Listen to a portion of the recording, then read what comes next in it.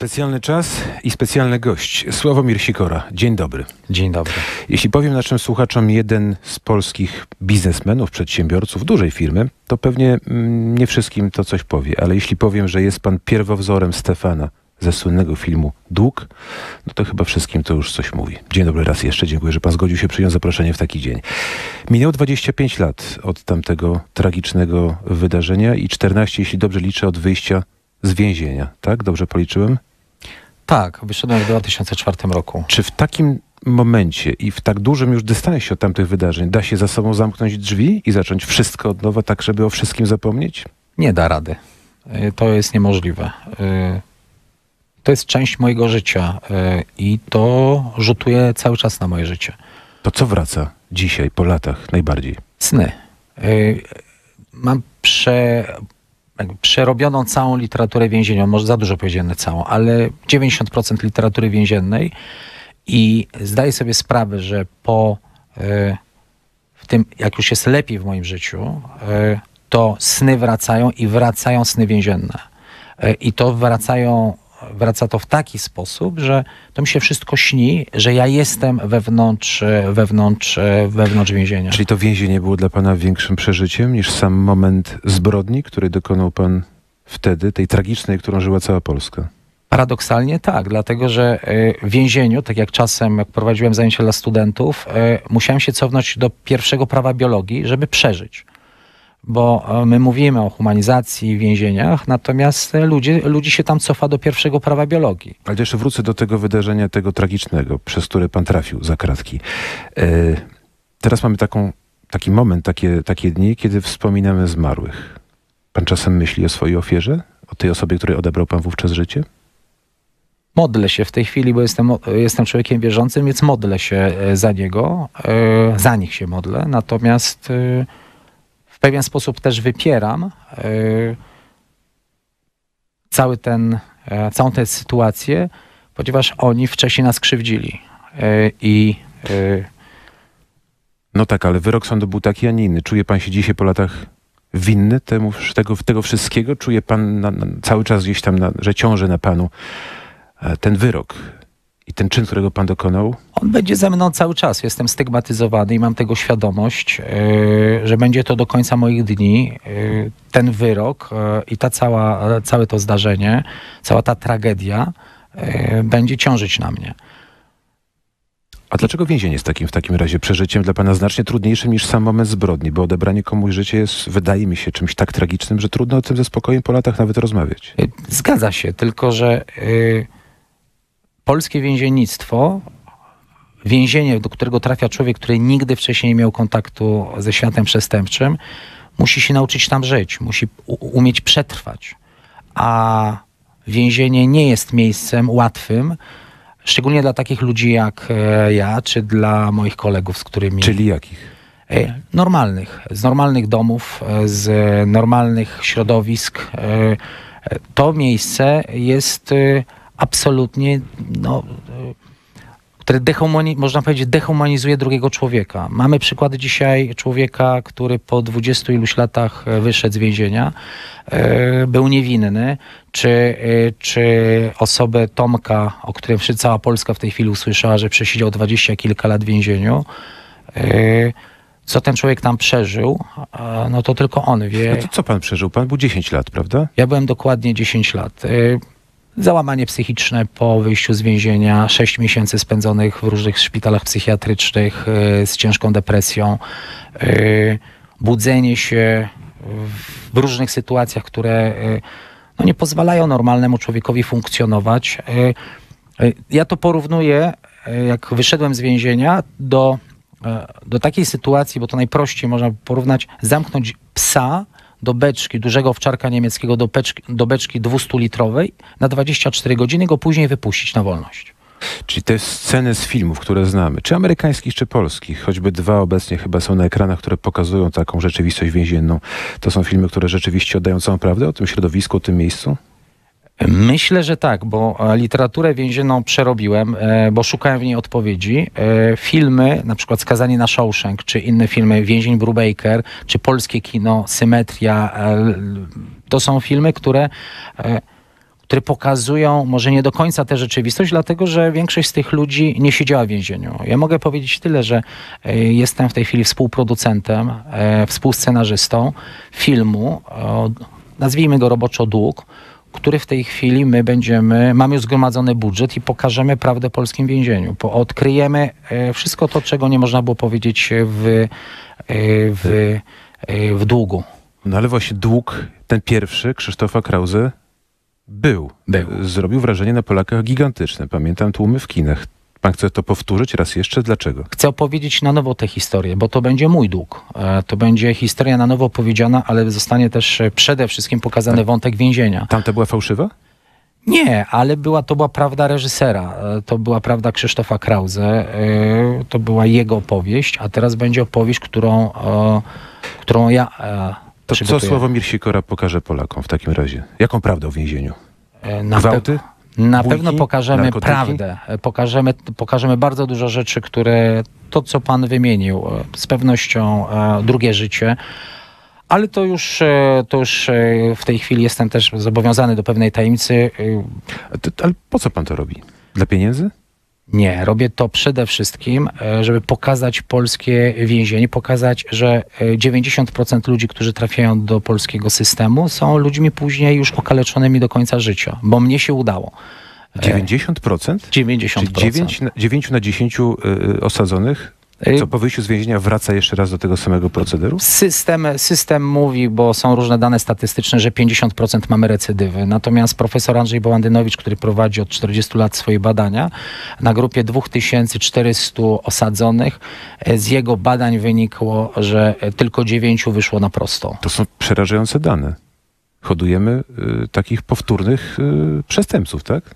No, jeżeli przez kilka lat człowiek przebywa w więzieniu, jest okastrowany z, e, z życia, e, jeżeli siedzi e, i nic innego robi, po prostu wychodzi tylko na spacery, je, cofa się go do pierwszego prawa biologii, no to ten człowiek nie potrafi później funkcjonować. Statystyki są zupełnie inne. Pokazują, że jest lepiej, że więźniowie mają pracę, mają zajęcie, co więcej mogą nawet zarabiać realnie pieniądze. Może nie dużo, ale jednak to coś znaczy, prawda? No ja wyszedłem z więzienia po 10 latach, e, mając, e, mając w, pe- w kieszeni 2300 zł na żelazną, z żelaznej kasy. Mogę tyle powiedzieć, że e, byłem zatrudniony w więzieniu na pół etatu albo na 7 ósmych etatu po to, żeby więzienie nie płaciło ode mnie podatku. E, czyli przez 10 lat, e, przez 10 lat e, nie zapracowałem na swoją emeryturę. O tym, co trzeba zmienić w systemie, porozmawiamy na już RMF24.pl. W radiu spytam pana jeszcze, co panu dało w więzieniu taką siłę, że, że pozwolił pan jednak nie wejść sobie na głowę innym, przetrwać, a teraz, jak słyszeliśmy na początku rozmowy, wrócić w miarę, w miarę, tak, do normalnego życia. Na pewno wiara w Pana Boga.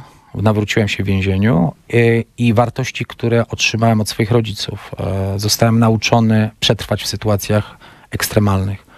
Te wartości mi pozwoliły przetrwać. One są ponadczasowe? Tak jak wszystko. E, Wierność, słowo, e, dobro. To są rzeczy ponadczasowe. Tego nie możemy zdewaluować. To tylko w nas jest i potrafimy Sławomir Sikora, pierwowzór Stefana z filmu Dług, jest naszym gościem. Kłaniamy się radiosłuchaczom i zapraszamy na rmf24.pl. Tam dalszy ciąg rozmowy także o tym, co trzeba zmienić w polskim systemie więziennictwa. To zanim zapytam o to, co trzeba zmienić, spytam jeszcze, bo to mnie piekielnie intryguje. Jak wygląda taki dzień w więzieniu?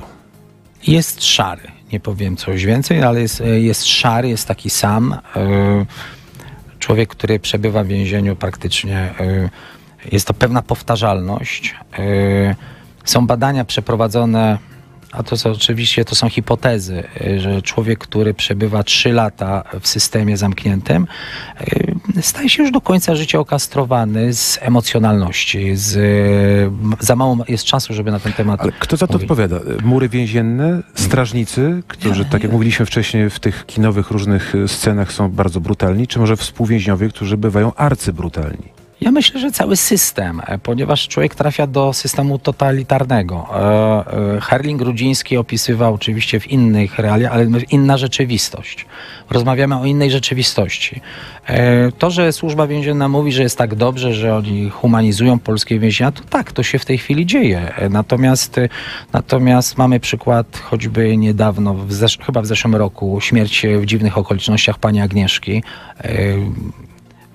Gdzie wszyscy byli świadkami tego, że kobieta areszt umiera. na warszawskim Grochowie. Areszt, areszt w warsza- warszawskim Grochowie. No wydawałoby się, że coś powinno się zmienić, ale przypomnijmy sobie kilka lat wcześniej, wstecz, e, umierał na oczach służby więziennej i e, innych osób e, współosadzonych, Ale to teraz pan mówi o, obywatel Rumunii. o obojętności, rozumiem, bo nie o brutalności strażników, na przykład więziennych, tylko o ich obojętności wobec tych, którzy są osadzeni i których oni traktują chyba, jeśli dobrze pana rozumiem, jako ludzi drugiej czy trzeciej kategorii. Ale jeżeli ktoś jest obojętny, no to też jest brutalny, e, bo przez swoją obojętność jest osobą, e, jest osobą też brutalną. Oczywiście ja na swojej drodze spotkałem, mogę powiedzieć, 90% e, ludzi, którym zawdzięczam, czyli oficerów służby więziennej, którzy mi pomagali przetrwać, ale to tylko zależało ode mnie oczywiście. Natomiast e, jeżeli siedzi 1200 osadzonych w zakładzie karnym, na przykład we Włocławku, jeżeli oddziałowy czy wychowawca ma pod opieką 100 ludzi, to o czym my będziemy rozmawiać? No to tak szczerze, z ręką na sercu, jak pan sobie z tym radził? Tak każdego dnia? No, pobudka, raz, że ta szarość, o której pan mówi, ta beznadzieja, brak nadziei, że coś się może zmienić, brutalni strażnicy jeszcze bardziej brutalni współwięźniowie. Część z nich to tak zwana grypserka, git ludzie. Pan To tak może. normalnego domu, tak? Tak, to możemy tak jakby.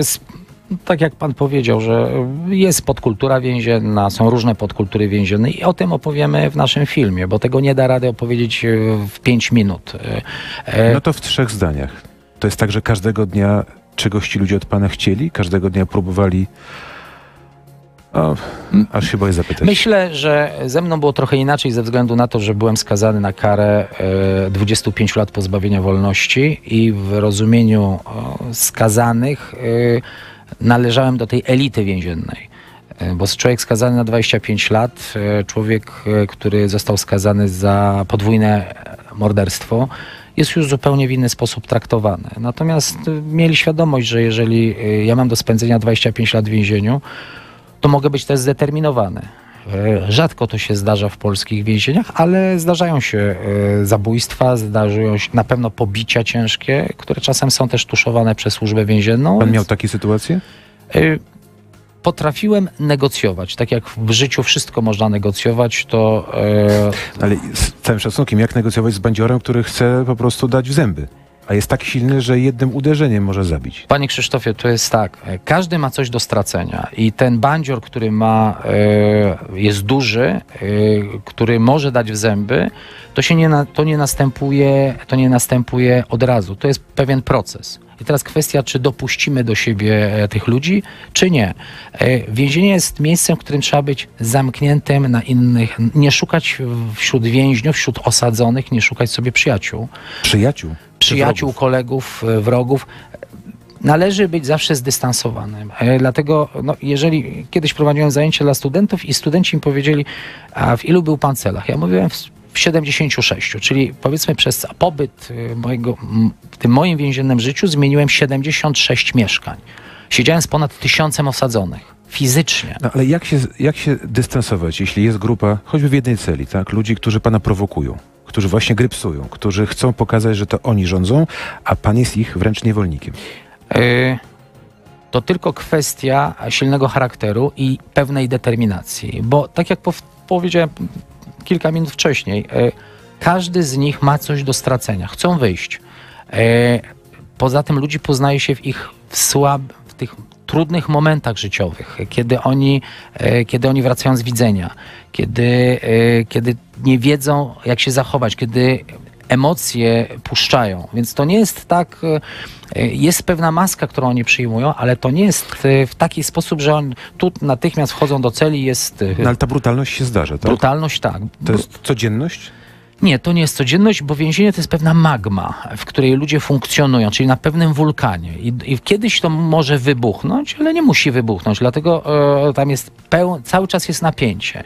Nie ma pewności jutra. E, dlatego ci ludzie później wychodzą i mają na przykład tryb wędrowny, e, no bo nie, nie potrafią funkcjonować w inny sposób. A przyjaźnie w więzieniu się zdarzają?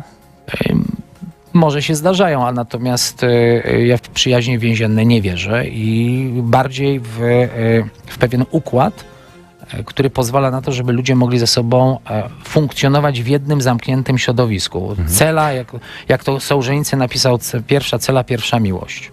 No ale rozumiem, że są takie momenty, kiedy ta, ten dystans do innych i ta, ta samotność doskwiera. Trzeba z kimś porozmawiać.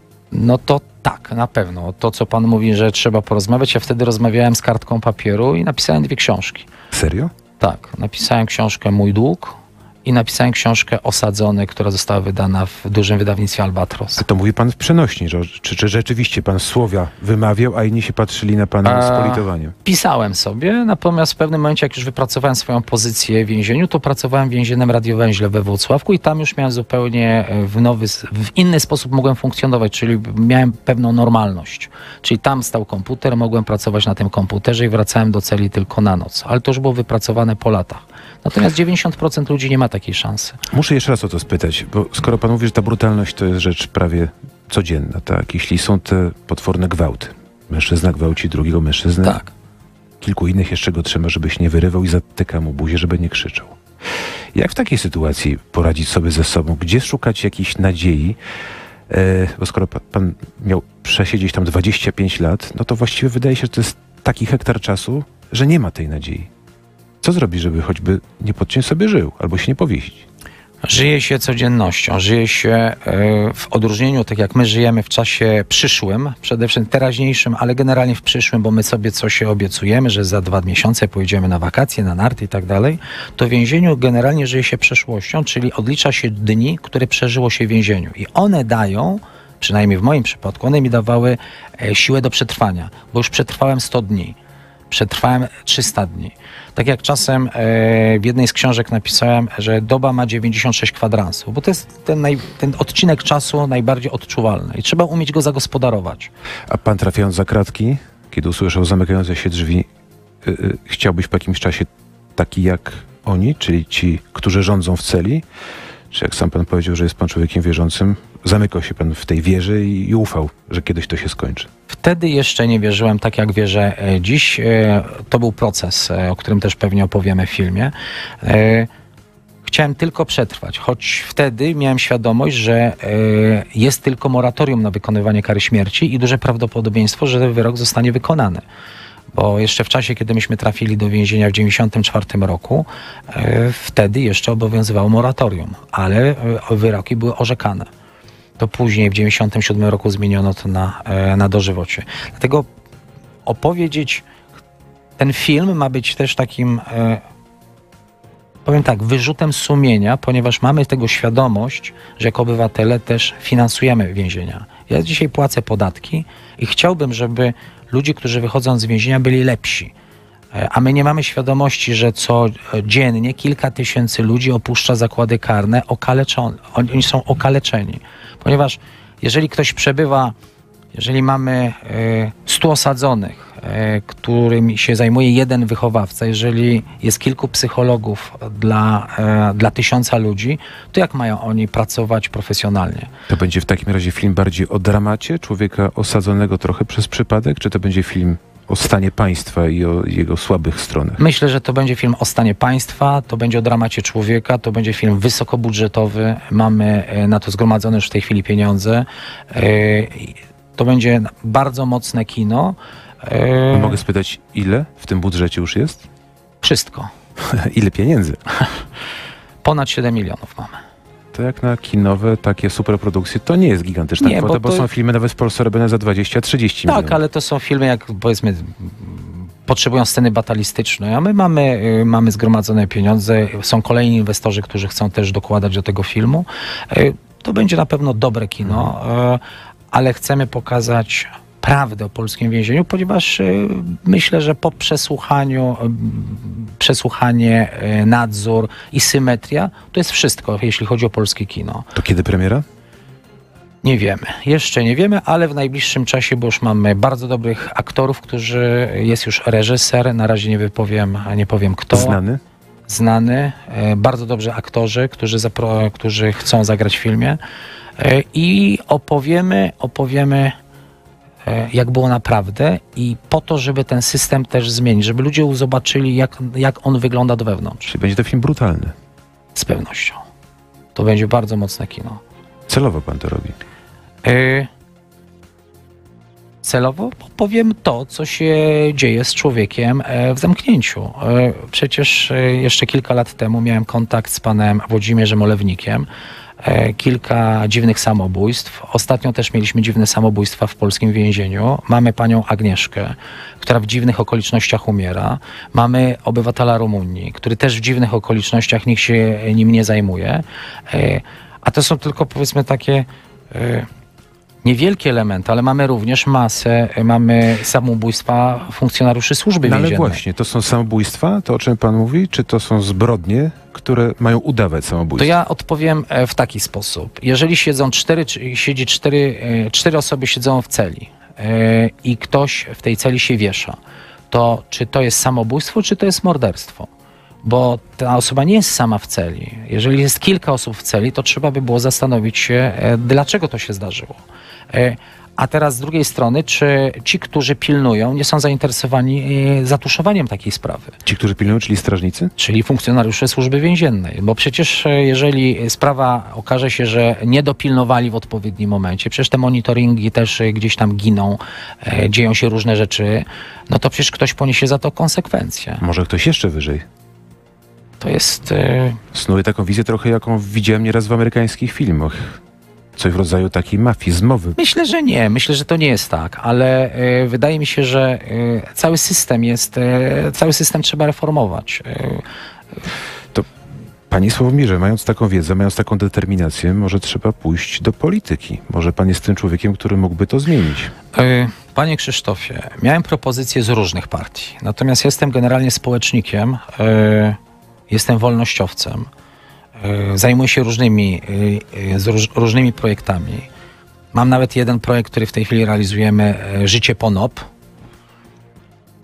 Życie po e, niepożądanym odczynie poszczepiennym. Czyli e, dzieci, które są szczepione, które mają powikłania poszczepienne i nikt się tym generalnie nie interesuje. E, więc Ale dużo wrócę, wrócę do więziennictwa. Może pan jest tym człowiekiem, który mógłby wpłynąć, żeby było lepiej.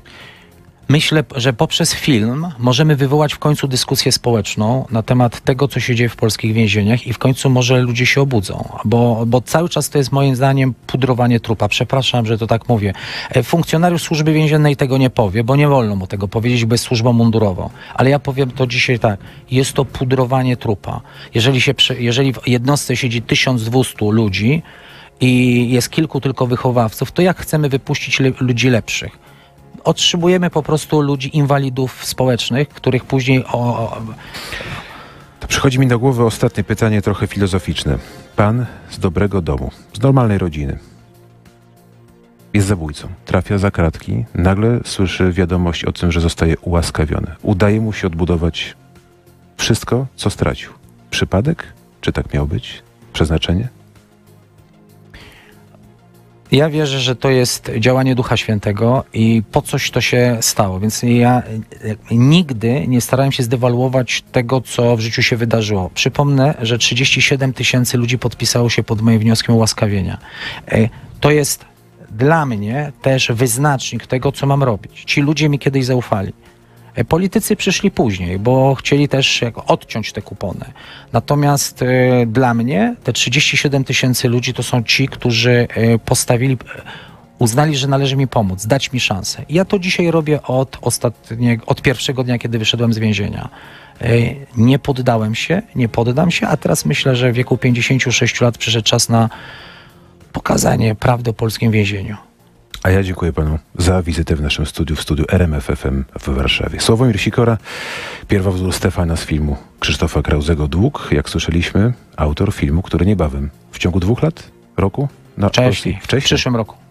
Trzymamy za słowo. Dziękuję bardzo. Panie Kłaniamy. Krzysztofie, ja dziękuję za spotkanie i zaproszenie. Do usłyszenia.